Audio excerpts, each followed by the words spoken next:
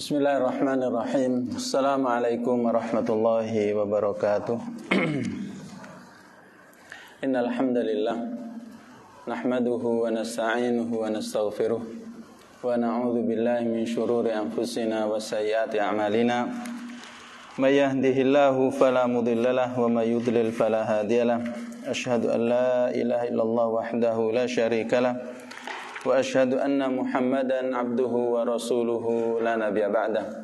اللهم صل وسلم وبارك على عبدك ونبيك محمد صلى الله عليه وسلم وعلى آله وأصحابه ومن اهتداه بهداه إلى يوم الدين. قال الله جل وعلا يا أيها الذين آمنوا اتقوا الله حق تقاته ولا تموتن إلا وأنتم مسلمون. أما بعد فإن أصدق الحديث كتاب الله وخير الهدي هدي محمد صلى الله عليه وسلم وشر الأمور محدثاتها وكل محدثة في الدين بدعة وكل بدعة ضلالة وكل ضلالة في النار Ikhwanil ahibba jamaah yang dimuliakan Allah Marilah kita memanjatkan puja dan puji syukur kita kepada Allah subhanahu wa ta'ala atas segala karunia yang diberikan kepada kita sehingga kita bisa berjumpa lagi di masjid ini dalam rangka melanjutkan kajian kita tentang tarikh. Salawat dan salam semoga senantiasa tercurahkan kepada Nabi kita Muhammad sallallahu alaihi wasallam, keluarganya, para sahabatnya serta orang-orang yang senantiasa menjalankan sunnahnya. Jamaah yang dimuliakan Allah pada kesempatan yang lalu kita telah membahas tentang um, sikap Abu Bakar As-Siddiq radhiyallahu anhu dalam menghadapi orang-orang yang murtad setelah ditinggalkan oleh Rasulullah sallallahu alaihi wasallam. Juga sikap beliau terhadap kaum muslimin yang tidak mau menunaikan zakat.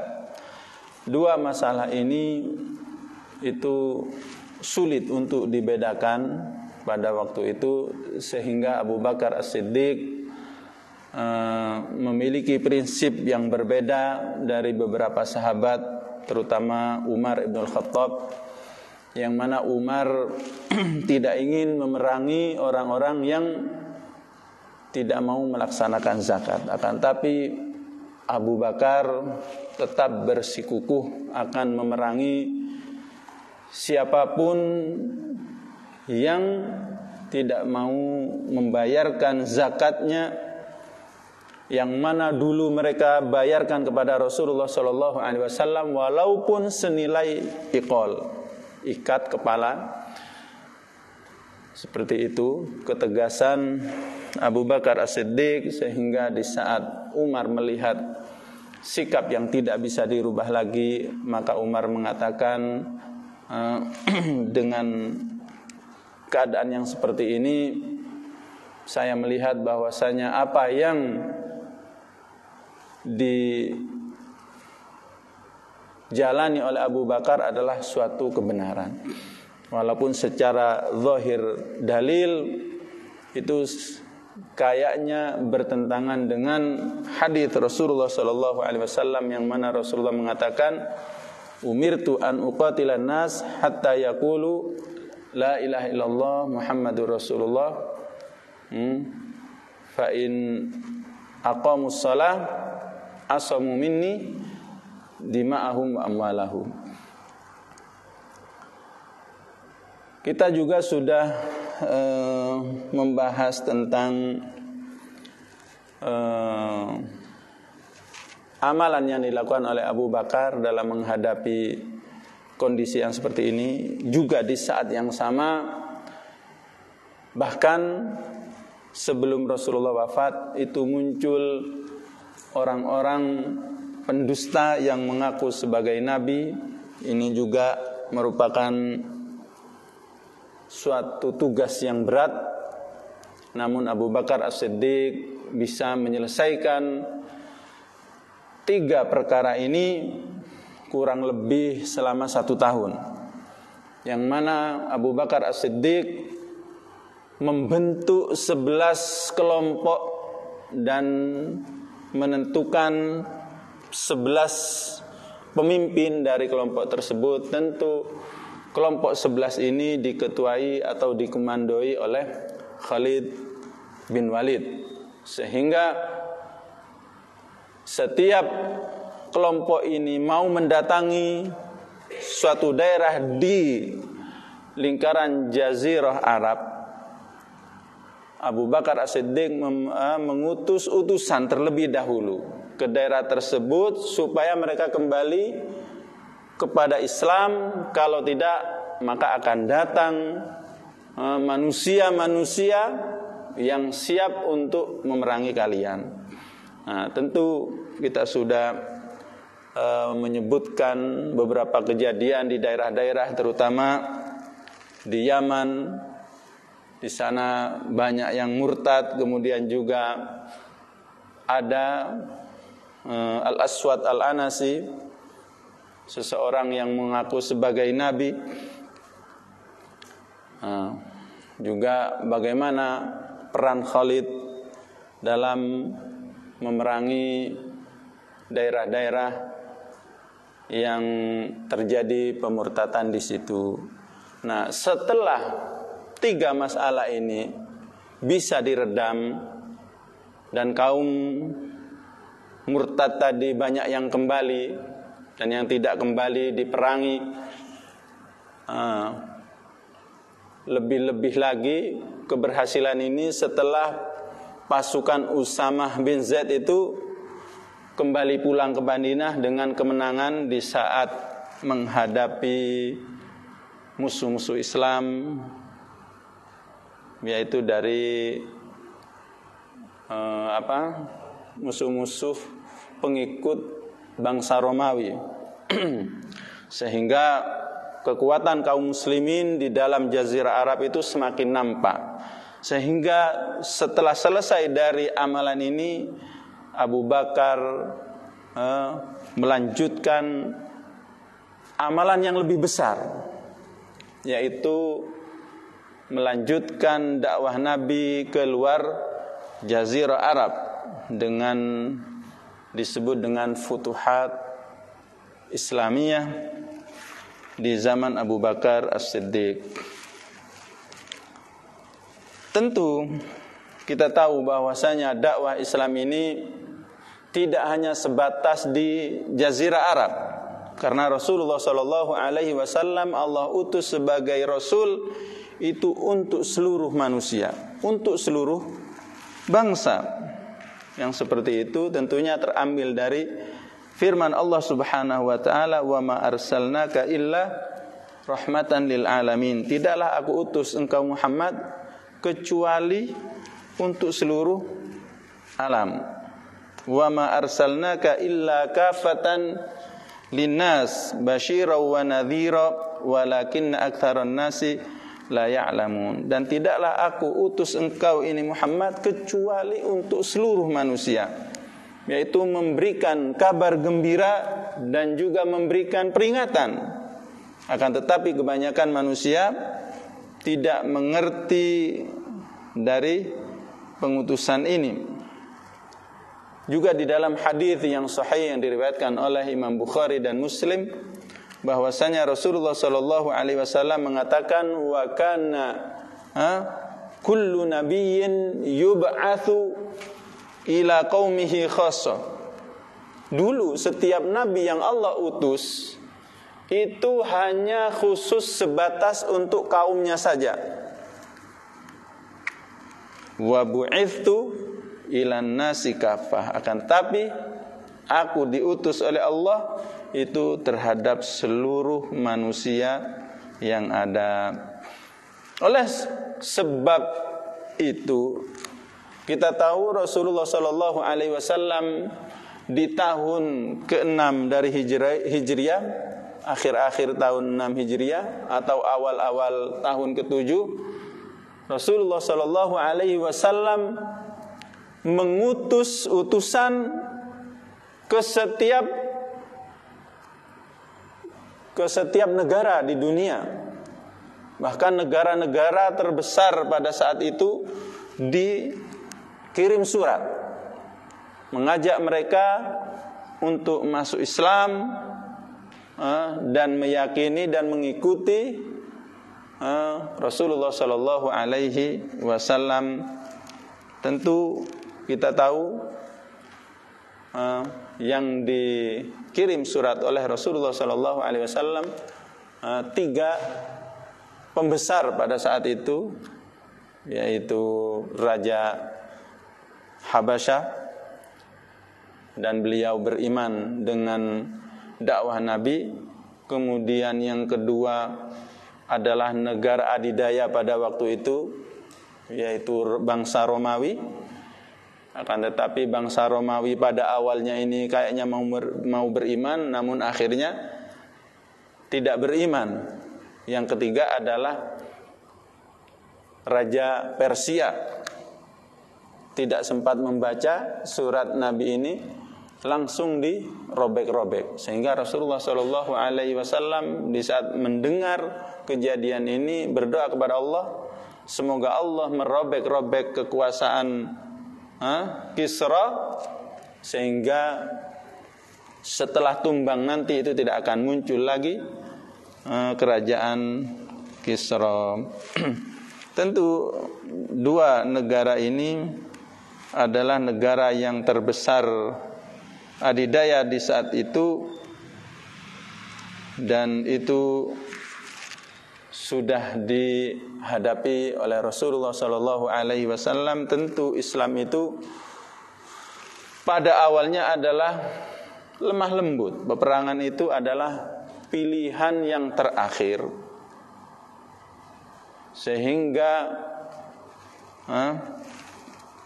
hukum-hukum jihad di dalam Islam itu itu memiliki tiga tingkatan Tingkatan yang pertama adalah sabar seperti yang dilakukan oleh Rasulullah Shallallahu Alaihi Wasallam dan para sahabatnya di era Makkah. Tidak ada niat untuk berperang dengan orang-orang Quraisy pada saat itu walaupun dizalimi seperti apa. Walaupun apa itu pijakan-pijakan dalam berjihad itu sudah mulai ada. Kemudian yang kedua, di saat Rasulullah Shallallahu Alaihi Wasallam sudah menetap di Madinah, kemudian kaum muslimin sudah solid, mereka saling apa itu mendukung antara satu dengan yang lain, saling menguatkan, baru pada kondisi yang seperti ini Allah mengizinkan bagi mereka untuk membela diri. Udzina lil ladzina yuqataluna dzulimu. Sudah diizinkan bagi orang-orang yang diperangi yang mana mereka itu dianiaya, dizalimi wa innallaha ala nasrihim laqadir. Dan sesungguhnya Allah atas menolong mereka itu sangatlah mampu. Kemudian firman Allah yang lain wa qatilu fi sabilillahi alladziina yuqatilunakum wa la ta'tadu innallaha la yuhibbul mu'tadin. Dan perangilah di jalan Allah orang-orang yang memerangi kalian.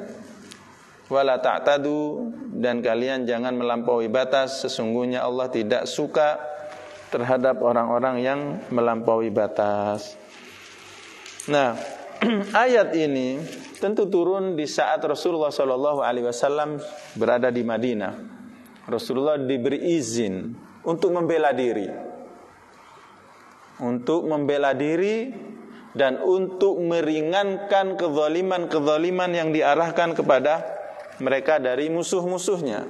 Musuh-musuh Rasulullah pada waktu itu tentunya adalah orang-orang kafir Makkah mereka tentu tidak terima. Walaupun Rasulullah sudah pindah ke Madinah tetap permusuhan itu terus mereka lancarkan kepada Rasulullah Sallallahu Alaihi Wasallam. Sehingga di saat ada kesempatan baru Rasulullah Sallallahu Alaihi Wasallam membuat perhitungan. Seperti apa? Seperti perang Badar. Perang Badar secara sekilas yang memulai itu adalah Rasulullah. Dengan cara apa? Dengan cara mencegat rombongan dagang orang-orang Makkah yang dipimpin oleh Abu Sufyan. Apakah dari perang Badar ini Rasulullah memulai perang? Tidak. Sebenarnya bukan member, apa, mengawali. Karena mereka itu adalah orang-orang yang sudah tidak bisa dihitung kezoliman mereka terhadap kaum muslimin. Sehingga di saat sudah ada kemampuan, ada peluang, maka setiap kezoliman itu harus dilawan dengan setimpal. Hmm. Kemudian tingkatan yang ketiga Tingkatan yang kedua dalam jihad itu dibolehkan diizinkan untuk membela diri. Yang ketiga diperintahkan untuk memerangi awalan. Tidak menunggu. Dan itu pun terjadi tidak untuk seluruh orang-orang kafir tidak. Itu juga terbatas kepada orang-orang kafir yang ada di dalam jazirah Arab.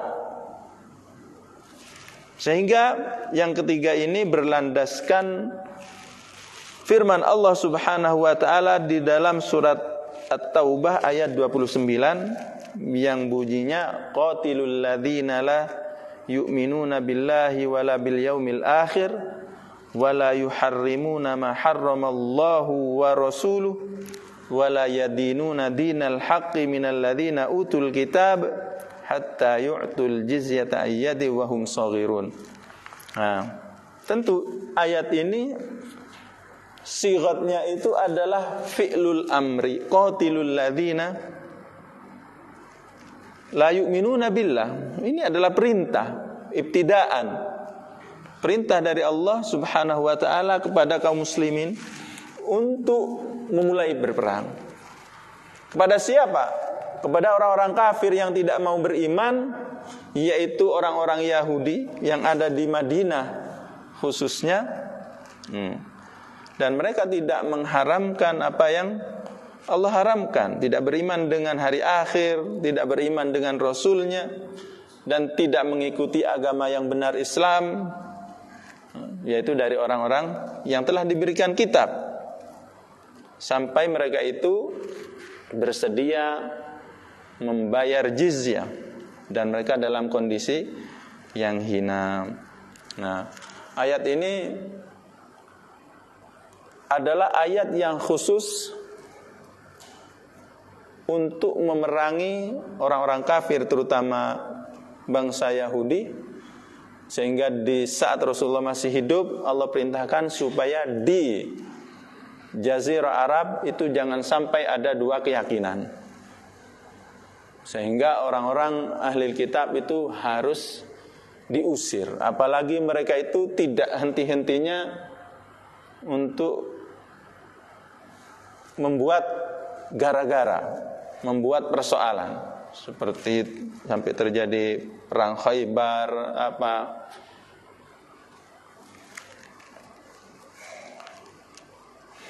Nah, ini adalah syariat Allah terhadap nabi kita bagaimana mensikapi orang-orang kafir sehingga dari ayat-ayat ini yang mana Rasulullah Shallallahu Alaihi Wasallam itu diutus untuk seluruh manusia. Maka Abu Bakar As Siddiq itu melanjutkan misi Rasulullah Shallallahu Alaihi Wasallam. Apa misi yang terpenting adalah mendakwahkan Islam. Kemudian yang dilakukan oleh Abu Bakar As Siddiq radhiyallahu anhu setelah selesai Eh, menyelesaikan permasalahan di internal Jazirah Arab, maka dipersiapkan dua kekuatan dalam waktu sekaligus untuk menghadapi dua bangsa yang terbesar pada saat itu. Yaitu bangsa Romawi dan Persia. Dipersiapkan. Tentu persiapan ini karena Abu Bakar As-Siddiq sudah bisa mengukur kapasitas kaum muslimin dan mereka. Padahal kalau kita lihat setiap peperangan kaum muslimin itu tidak pernah seimbang dari segi jumlah. Sangat kecil dibanding jumlah musuh-musuhnya. Namun Abu Bakar As-Siddiq itu sangat yakin dan sangat percaya terhadap kemampuan kaum muslimin pada saat itu. Bagaimana tidak percaya? Kalau kita baca sejarah, Rasulullah Shallallahu Alaihi Wasallam itu memimpin peperangan selama hidupnya dan peperangan itu dimulai di di saat Rasulullah ada di Madinah pada tahun kedua dari Hijriyah itu sudah dimulai peperangan-peperangan itu. Ahli sejarah menyebutkan bahwasanya Rasulullah Shallallahu Alaihi Wasallam memimpin peperangan itu dalam selang waktu dari tahun kedua Hijriah sampai meninggalnya beliau yang mana Rasulullah meninggal kita tahu pada tahun 11 dari Hijriah. Jadi masa 9 tahun ini Rasulullah memimpin sebanyak kurang lebih 27 peperangan. Ada apa kita dapati seorang panglima sehebat apa pun per, dalam hidupnya pernah memimpin peperangan, berada di depan dalam waktu yang singkat seperti itu sebanyak 27 atau 30 kali peperangan. Tidak ada. Yang ada hanyalah Rasulullah Shallallahu alaihi wasallam. Sehingga kaum muslimin itu sudah terbiasa. Apalagi Khalid bin Walid, walaupun dia masuk Islam agak telat, namun beliau ini adalah seorang panglima perang Baik di masa sebelum dia masuk Islam Dan setelahnya Kita tahu perang Uhud Kekalahan kaum muslimin itu Itu karena apa? Termasuk di antara sebab kekalahan itu Karena strategi Khalid yang dipakai Di saat memimpin perang Melawan Rasulullah Dan memang sebab utamanya adalah pasukan pemanah ini, ini tidak istiqomah dalam menjalankan uh, Rasulullah Shallallahu Alaihi Wasallam dalam kondisi apa pun jangan sampai turun dari puncak gunung Uhud. Akan tapi mereka lalai merasa musuh sudah lari tidak mungkin kembali. Akhirnya Khalid bin Walid memutar diambil dari belakang dan yang disikat duluan adalah pasukan pemanah. Nah, Khalid bin Walid ini disebutkan oleh ahli sejarah bahwasanya beliau menghadiri peperangan itu itu lebih dari seratus kali. Sehingga Abu Bakar As-Siddiq itu membagi dua kekuatan. Kekuatan yang pertama itu adalah dikomandoi oleh Khalid bin Walid dan pasukan ini diarahkan ke daerah Persia yaitu daerah Iran dan Irak sana. Tentu Khalid dibantu oleh beberapa sahabat.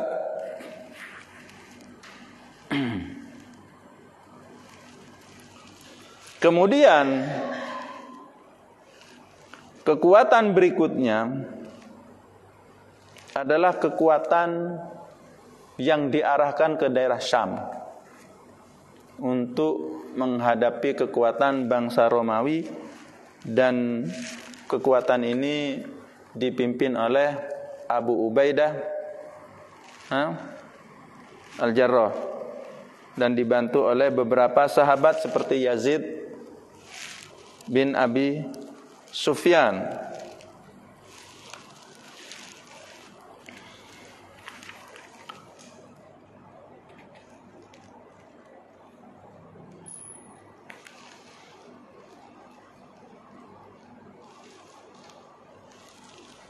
Nah, tentu pengalaman-pengalaman peperangan yang dimiliki oleh kaum muslimin ini itu adalah sebagai timbangan oleh Abu Bakar As-Siddiq dalam menghadapi dua kekuatan ini. Apalagi kelebihan yang dimiliki oleh kaum muslimin itu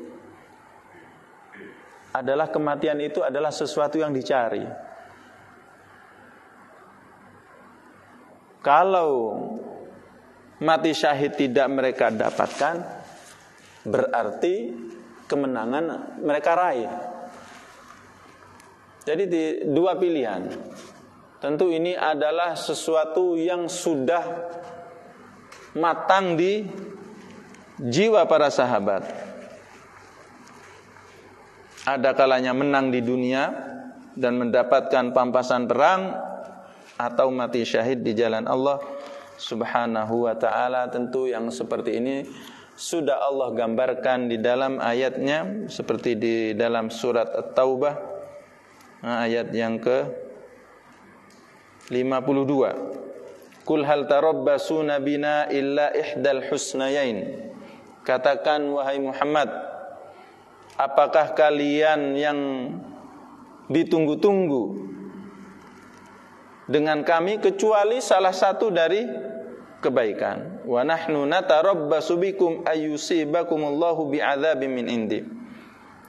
Tentu ini khitabnya diarahkan kepada orang-orang kafir. Katakan Muhammad kepada mereka, apa yang kalian tunggu dari kami? Kecuali salah satu dari kebaikan. Yaitu tadi, imma kemenangan di dunia dan mendapatkan ghanimah atau mati syahid. Wa nahnu natarabbasu bikum ayyusibakumullahu bi'adzabin min indi. Dan kami pun menunggu yang terjadi kepada kalian apa? Yaitu timpa azab yang pedih dari Allah atau azab tersebut melalui kami dengan tangan-tangan kami. Apa maksudnya? Ya kekalahan di medan perang. Fatarabbasu innama kumutarabbisu. Maka tunggulah. Sesungguhnya kami pun menunggu kalian. Dan juga firman Allah Subhanahu wa taala fal yuqatil fi sabilillahi alladhina yashruna alhayata ad-dunya bil akhirah wa may yuqatil fi sabilillahi fayuqtal aw yaghlib fasawfa nu'tihi ajran azima. Maka hendaknya seorang muslim itu berperang di jalan Allah maka hendaklah berperang di jalan Allah orang-orang yang menjual kehidupan dunia demi mendapatkan akhirat. Dan barang siapa yang berperang di jalan Allah kemudian ia terbunuh atau ia menang apa pun yang terjadi menang atau kalah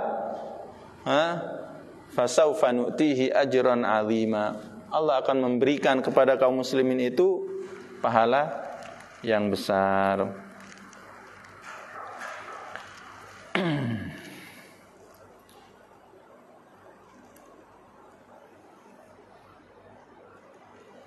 Jadi di samping ayat ini yang dijadikan tolak ukur oleh Abu Bakar As-Siddiq adalah kematangan para sahabat yang sudah terbiasa di medan perang. Sudah terbiasa di apa? menghadapi kesulitan hidup. Jangankan para sahabat yang besar seperti Umar bin Al-Khattab, Utsman bin Affan, Ali bin Abi Thalib. Sekelas kita tahu Usamah bin Zaid yang mana umurnya itu di saat ditunjuk jadi panglima tidak sampai 20 tahun. Bisa kita bayangkan. Seorang pemuda yang masih umur 16 tahun atau 17 tahun itu sudah menjadi pemimpin dalam berperang. Jadi mungkin kalau kita ukur dengan manusia-manusia sekarang itu kayaknya tidak masuk di akal kita. Para sahabat Nabi yang muda belia seperti itu saja sudah sangat diperhitungkan. Bahkan Rasulullah sudah mengetahui bahwasanya Usama bin Zaid ini sangat layak untuk jadi pemimpin. Nah, apalagi dengan sahabat-sahabat yang lain. Sehingga Abu Bakar As-Siddiq itu tidak segan-segan untuk menghadapi dua kekuatan dalam satu waktu. Sehingga dipersiapkanlah dua kekuatan ini sehingga Khalid bin Walid dengan rombongannya itu diutus ke daerah Iran sana dan Irak kemudian setiap daerah yang dimasuki seperti itu adalah dakwah. Masuklah Islam maka kalian akan selamat. Kalau tidak taat terhadap syariat Allah jangan jadi penghalang bagi dakwah kami. Kalau tidak mau dan masih mencoba untuk menghalangi dakwah Islam maka perang sehingga Khalid bin Walid ha, itu sukses membuka setiap daerah yang dilewati terutama di kekuasaan Persia ditaklukkan. Begitu pula Abu Ubaidah yang diutus ke Syam. Ya gitu. Sehingga kaum muslimin ini agak terdesak dan mengalami kesulitan Kenapa? Karena musuh yang dihadapi itu adalah bangsa Romawi. Tentu bangsa Romawi ini paling kuat, bahkan lebih kuat daripada bangsa Persia. Sehingga Abu Ubaidah itu agak merasa kesulitan sehingga Abu Bakar As-Siddiq menulis surat mengutus utusan supaya Khalid itu setelah selesai membuka kota-kota di daerah Persia untuk segera membantu Abu Ubaidah di Syam. Nah, sehingga Khalid bin Walid itu mencari cara bagaimana melewati jarak yang cukup jauh namun bisa ditempuh dengan waktu yang singkat. Nah, sehingga melewati jalan yang sebenarnya tidak layak untuk dilewati. Namun karena mereka sudah terbiasa dengan kesulitan sehingga medan seperti apa pun dilewati supaya bantuan ini segera sampai ke Syam. Nah, di Syam inilah terjadi peperangan yang disebut dengan Ma'arakatul Yarmuk. Perang Yarmuk. Yarmuk ini adalah suatu daerah di Syam yang mana letaknya ini bagi kaum muslimin itu sangat menguntungkan. Yang mana tentara Romawi yang jumlahnya itu di atas 200 ribu tentara yang dihadapi oleh kaum muslimin yang jumlahnya itu tidak sebanding mungkin perkiraan hanya 40 ribu tentara kaum muslimin nah di saat Khalid sudah sampai maka kepemimpinan itu dipegang oleh Khalid bin Walid.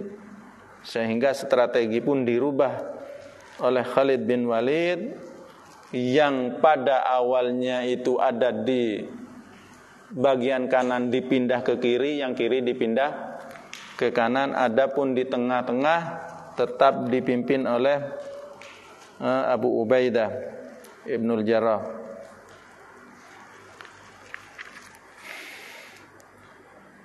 Kemudian di antara strategi yang dilakukan oleh Khalid bin Walid membagi pasukan itu menjadi 36 kelompok. Tentu setiap kelompok ini dipimpin oleh uh, kaum muslimin yang paling berani. Dan di tengah tetap Abu Ubaidah ibn Jarrah. Kemudian yang awalnya ada di kiri diletakkan di kanan dan dipimpin oleh Amr bin As. Juga dibantu oleh Syarahbil bin Hasnah.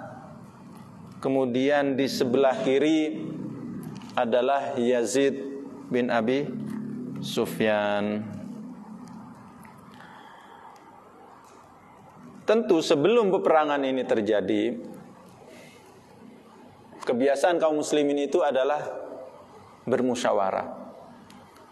Dan di antara hasil dari musyawarah tersebut dari segi letak itu dari usulan seseorang dari kaum muslimin.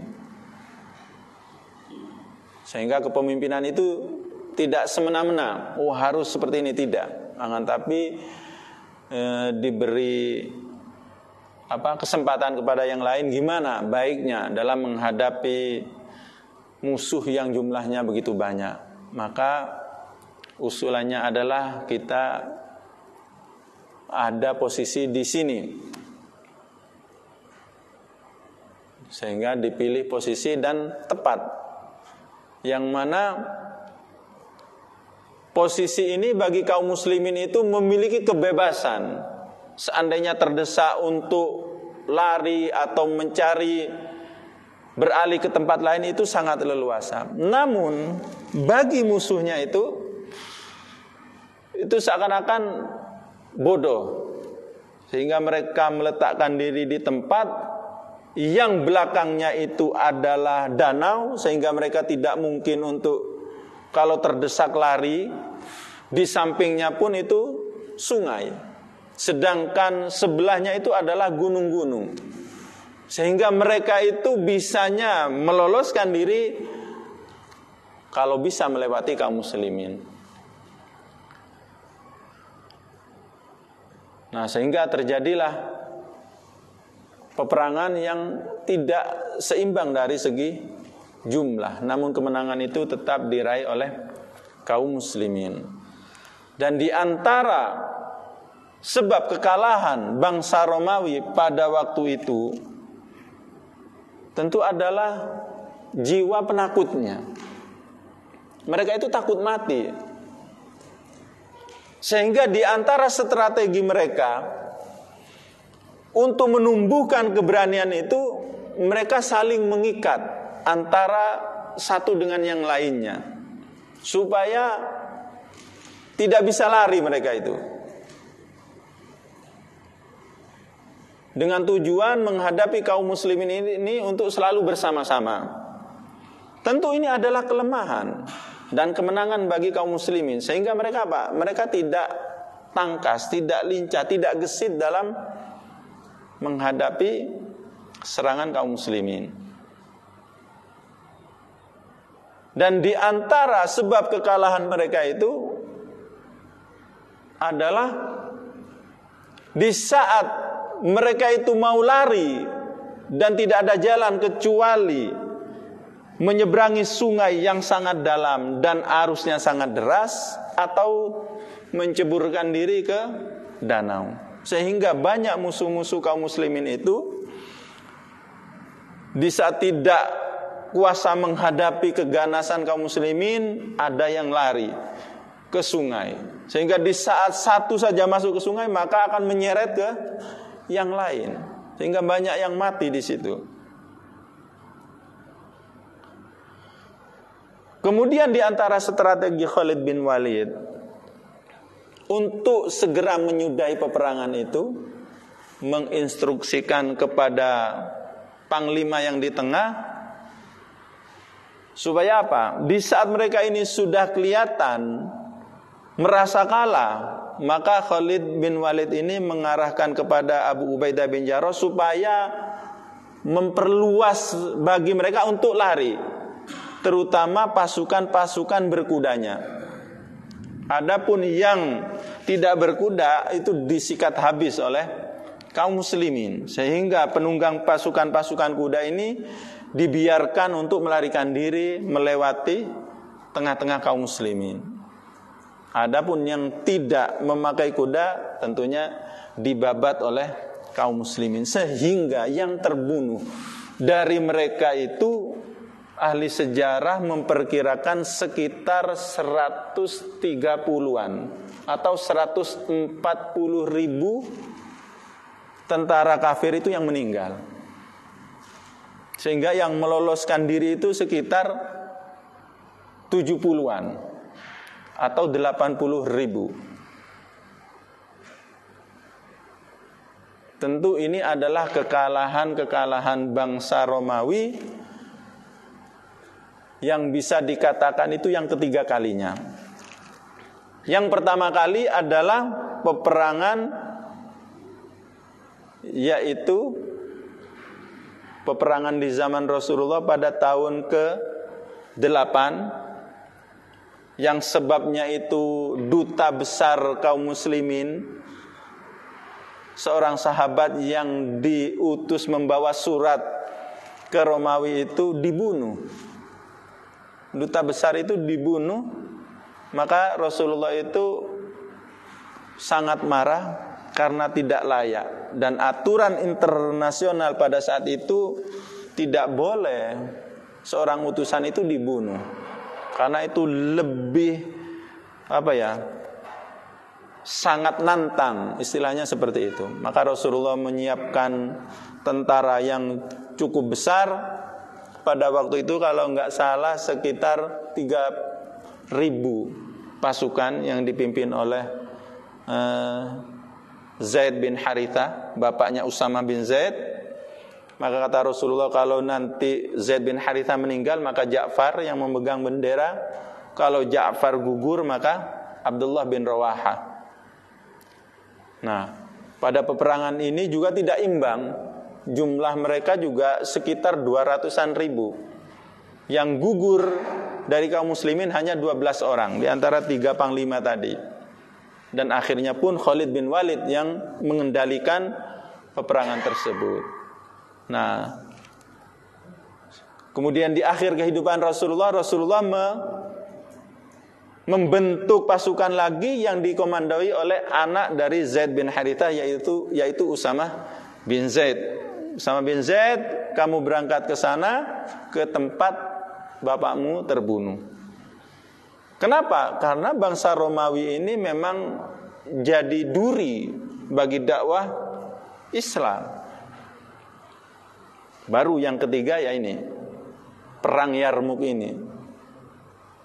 Tentu kekalahan-kekalahan ini Kenapa Abu Bakar sangat yakin dengan kemenangan kaum muslimin? Karena jauh-jauh hari Rasulullah Shallallahu Alaihi Wasallam itu sudah memberikan isyarat, mengabarkan yang menunjukkan tanda-tanda kenabiannya itu adalah Rasulullah Shallallahu Alaihi Wasallam pernah datang seorang sahabat kalau nggak salah yang bernama Adi, Adi bin Hatim mungkin ya, itu pernah datang kepada Rasulullah untuk mengadu ya Rasulullah banyak sekali begal-begal di jalan. Maka kata Rasulullah sallallahu alaihi wasallam, "Wahai Adi, tahukah kamu apa tentang apa suatu tempat habla atau apa gitu. Tempat ini tentu ada di di daerah Persia sana. Maka kata sahabat ini, tidak ya Rasulullah, saya tidak tahu daerah tersebut. Ketahuilah sesungguhnya nanti kaum muslimin ini wanita saja itu melakukan bepergian dari tempat ini sampai ke Makkah, sampai bisa tawaf dengan aman, itu akan terjadi nanti.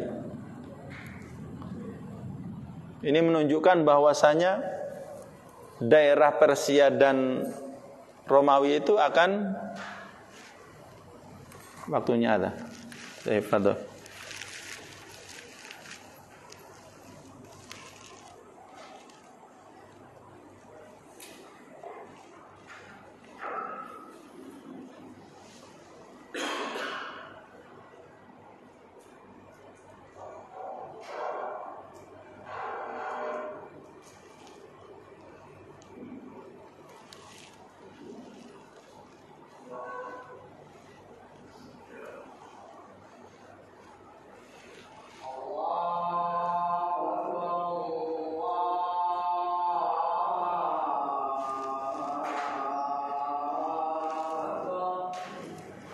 怎么？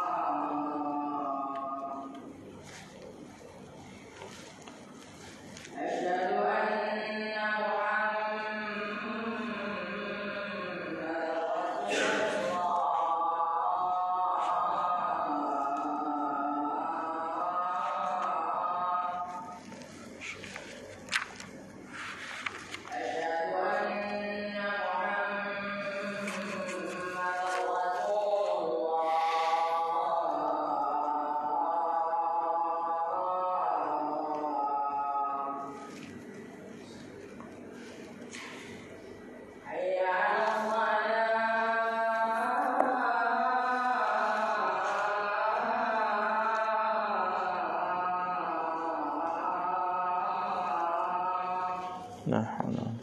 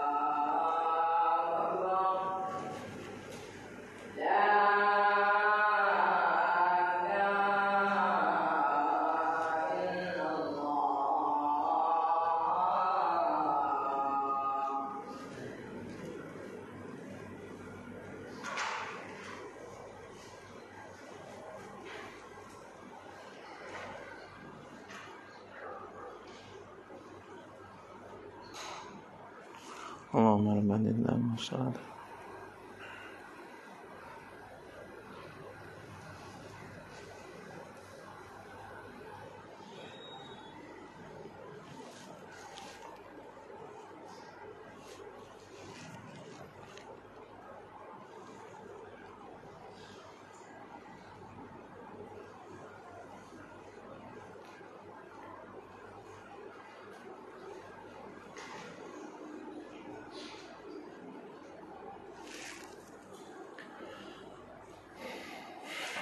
Baik. Berapa menit untuk 15? Tidak sampai 10 menit. Baik, kita lanjutkan sedikit. Tentu di antara hal yang menjadikan pendorong bagi kaum muslimin, terutama Abu Bakar As-Siddiq atas kemenangan mereka terhadap bangsa Romawi dan Persia adalah apa yang telah disabdakan oleh Rasulullah Sallallahu Alaihi Wasallam jauh-jauh hari. Di dalam hadis yang diriwayatkan oleh Imam Bukhari, bahwasanya Rasulullah Sallallahu Alaihi Wasallam pernah mengatakan kalau Raja Kisro dan Kaisar telah binasa, telah hancur, maka tidak akan ada lagi kekuasaan mereka. Itu yang pertama. Hadis yang kedua adalah hadis yang diriwayatkan oleh Imam Muslim bahwasanya Rasulullah Shallallahu alaihi wasallam pernah mengatakan innallaha qad zawaliyal arda faraitu masyariqaha wa magharibaha wa u'titul kanzaini al-ahmar wal abyad Allah Subhanahu wa taala pernah memaparkan kepadaku ha, seluruh bumi. Sehingga aku melihat bumi bagian timur dan bagian barat. Dan aku juga pasti diberikan di sini itu dengan sirat fi'il madi yang dimabdi majhul. Padahal ini akan terjadi. Kalau ada fi'il madi yang dipakai fi'il madi kan sebenarnya kejadian sudah lalu tapi ini kejadian yang akan datang. Apa manfaat dari pemakaian lafal yang seperti ini? Dari segi bahasa itu menunjukkan adalah sesuatu yang pasti contoh umpamanya bagaimana kita jalan tayyib masyaina Nah, ini ya sudah kita pasti berangkat. Nah, di dalam hadis ini wa u'titul kanzaini dan aku pasti diberi dua harta benda yang merah dan yang putih. Apa yang maksudnya adalah emas dan perak. Jadi umatku nanti itu akan diberi dua kekayaan ini. Dan ulama hadis menjelaskan bahwasanya maksud dari emas ini adalah emas yang dimiliki oleh bangsa Romawi. Sedangkan yang putih ini adalah perak adalah kekayaan yang dimiliki oleh bangsa Persia. Dan kaum muslimin nanti akan menginfakkan dua dua harta kekayaan ini. Tentu banyak hadis-hadis yang telah disampaikan oleh Rasulullah Shallallahu Alaihi Wasallam jauh-jauh hari seperti di perang Khandaq yang mana Rasulullah Shallallahu Alaihi Wasallam ikut menggali parit dan di saat ah, metel batu ya apa itu? Pakai hammer apa itu? Memecahkan batu itu muncrat sinar dan Rasulullah mengatakan, aku diperlihatkan ha, kehancuran kekuasaan Kisra dan seterusnya. Maka dari hadis-hadis ini tentunya para sahabat itu sangat yakin dengan kemenangan mereka. Dari banyak-banyak faktor yang sudah kita sebutkan tadi, sebab-sebab kemenangan, Tentu memang ini adalah sunnatullah yang pasti terjadi. Sehingga kaum muslimin itu benar-benar bisa menunjukkan kekuatan mereka di hadapan musuh-musuhnya, terutama musuh-musuh yang paling besar di saat itu.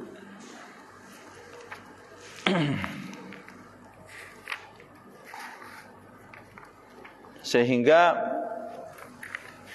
dari peperangan ini ini menunjukkan bahwasanya dakwah Islam ini ke depannya itu akan mudah untuk disampaikan ke seluruh penjuru dunia.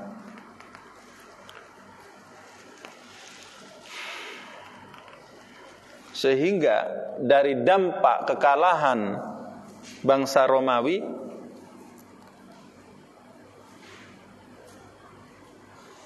Negara Syam yaitu dari Syria, Yordania, kemudian Palestina yang dulunya itu adalah daerah kekuasaan bangsa Romawi setelah peperangan Yarmuk ini akhirnya bangsa Romawi itu tidak mungkin akan menginjakkan kekuasaannya di tempat-tempat ini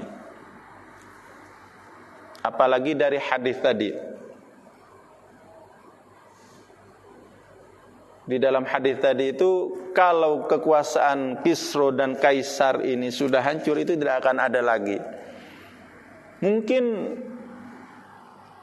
yang benar-benar mempelajari sejarah akan mengatakan lukan kekuasaan bangsa Romawi itu tetap ada sampai di zaman khilafah Utsman umpamanya. Bagaimana dengan hadis ini?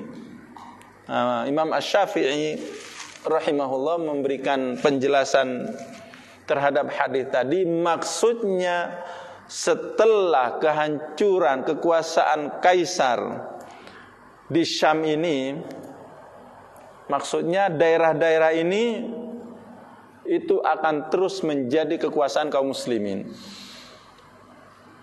dan bangsa Romawi atau Persia tidak mungkin untuk menguasai tempat-tempat yang sudah dibuka oleh para sahabat Khalid bin Walid di zaman Abu Bakar ini. Tentu bangsa Romawi itu nanti akan mencoba lagi. Sehingga nanti di zaman khilafah Umar ibn Khattab itu akan terjadi peperangan berikutnya. Karena dendam kesumat mereka itu tidak usai. Namun tetap kaum muslimin selalu di atas angin. Karena faktor-faktor tadi terutama jiwa mereka. Sampai Khalid bin Walid pernah mengungkapkan suatu ungkapan pernah saya baca namun saya cari lagi agak sulit pernah Khalid bin Walid ini mengirim sebuah tantangan ke sebuah tempat akhirnya entah bangsa apa ini meminta bantuan ke negara Mongolia kalau tidak salah Khalid bin Walid mengatakan tidak mungkin kalian itu akan bisa mengalahkan kami-kami ini. Karena kami ini adalah manusia-manusia yang kematian itu adalah sesuatu yang kita cari. Khalid bin Walid itu cita-citanya adalah mati di medan perang. Walaupun takdir berkata lain meninggalnya kata Khalid bin Walid dalam ungkapannya saya mati di atas ranjang seperti matinya apa itu lembu atau onta ini adalah jiwa-jiwa yang dimiliki oleh kaum muslimin di generasi sahabat sehingga sangat wajar kalau mereka itu sangat minoritas tapi menjadi manusia yang paling disegani di atas muka bumi. Setiap peperangan tidak pernah imbang. Sehingga tidak bisa dibayangkan. Makanya di dalam Al-Quran itu ada ayat perang. Ya Ustadz Muhammad, satu orang sahabat itu diwajibkan untuk berani menghadapi berapa itu? Pada awalnya. Iyakum minkum. Nah itu. Ya, nah, satu banding 200 ya Ustaz pada awalnya di dalam ayat itu dua berapa satu banding 10 itu kewajiban itu. Jadi kalau jumlahnya seperti itu kalian jangan gentar.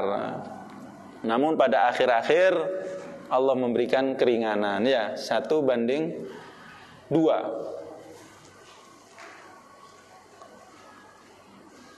Jadi kita ini semestinya sangat bangga ya dan harus sering-sering membaca sejarah yang seperti ini.